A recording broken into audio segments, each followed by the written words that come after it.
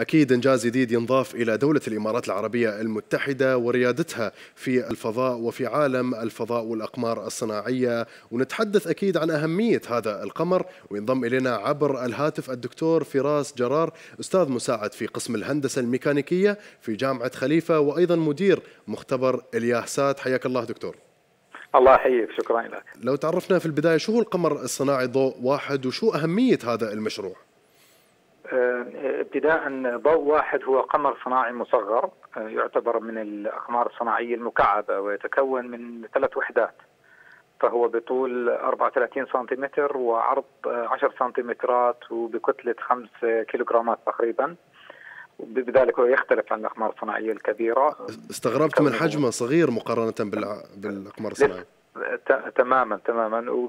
يعني هاي الخاصية لها ميزات اللي بتسمح في يعني كما راح نشوف إنه بتسمح بتجربة تقنيات جديدة بكلفه أقل وبسهولة أكثر. نعم. و... ولقد تم تنفيذ الضوء واحد على فكرة ضمن يعني فريق كبير من 32 طالب وطالبة بالرغم من كون القمر الصناعي صغير كما شفنا وطبعا من طلبة جامعة خليفة العلوم والتكنولوجيا وجامعة نيويورك أبو ظبي وذلك بدعم من وكالة الإمارات للفضاء والهيئة الوطنية لعلوم الفضاء من البحرين نعم. نعم. دكتور فراس حدثنا عن مراحل صناعة القمر الصناعي كيف كانت من البداية؟ هلا كان يعني هذا القمر الصناعي ضوء واحد يعني ينطبق طبعا الحكي على بقية الأقمار الصناعية التي قمنا بتطويرها في في جامعة خليفة تبدأ أول شيء بتحديد المهمة ف تحديد المهمة ينتج عنها ذلك تحديد المتطلبات اللازمة من حيث الحجم والكتلة والطاقة اللازمة لتشغيل القمر الصناعي ثم يأتي مرحلة التصميم المبدئي حيث يتم اختيار القطع والأجهزة المطلوبة. وذلك ضمن ميزانيات لما أتكلم عن ميزانيات هي ميزانيات في الكتلة في الحجم في كمية البيانات التي سيتم تحميلها في الطاقة اللازمة للتشغيل بعد المرحلة هاي تأتي مرحلة التصميم المفصل أو الدقيق. هذه تشمل على حسابات هندسية ومحاكاة للتأكد من أن القمر الصناعي قادر على تحمل الظروف القاسية الموجودة سواء خلال عملية إطلاق القمر الصناعي أو أثناء تواجده في المدار. طبعا بعد مرحلة التصميم الدقيق تأتي مرحلة البناء والتركيب وأخيرا تأتي مرحلة التجارب والاختبارات العملية للتاكيد مرة أخرى على صلاحية القمر الصناعي وقدرته على تحمل الظروف الصعبة. نعم، تعاون إماراتي وبحريني نشهدها في هذا القمر الصناعي وأكيد له وظيفة، شو هو وظيفة هذا القمر الصناعي الجديد؟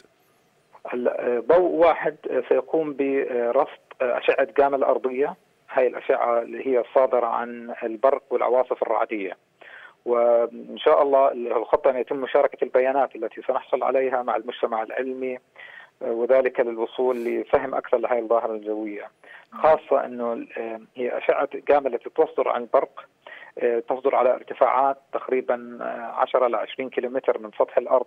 وصعب جدا أن يقوم أن نقوم يعني بملاحظتها من سطح الأرض بسبب التشتت الذي يحصل يحصل خلال الغلاف الجوي. نعم. ولذلك كان الأنسب دراستها من الفضاء. نعم بالنسبة لموضوع الاسم دكتور ليش تم تسميته بضوء واحد؟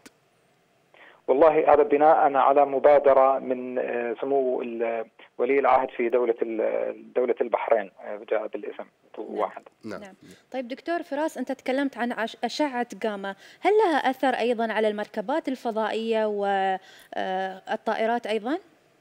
بكل بكل تأكيد فأشعة كاما هي تعتبر أشعة كهرومغناطيسية ذات تردد عالي وبالتالي هي طاقتها عالية. يعني بالأحرى هي الأعلى طاقة ضمن كل الإشعاعات الكهرومغناطيسية. وقادرة على اختراق الهواء والفراغ وحتى الأجسام والمعادن. وبالتالي تخيل إحنا ممكن تأثيرها اللي ممكن حاصل على سواء الأجهزة الإلكترونية وحتى على بالنسبة للكائنات الحية. يعني لذلك يعني الحمد لله في الغلاف الجوي في الأرض يعتبر كدرع واقي يقوم بحمايتنا من هذه الأشعة من خلال تشتيت وامتصاص الأشعة خلال داخل الغلاف الجوي نفسه.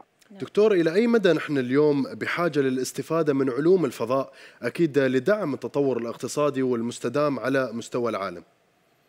بكل تأكيد إحنا بحاجة لجهود جبارة لأنه إنجاز المشروعات الفضائية حقق شغلتين يحقق الريادة والتقدم في في في العلوم الهندسة في كل المجالات على فكرة وليس فقط في المجالات الفضائية.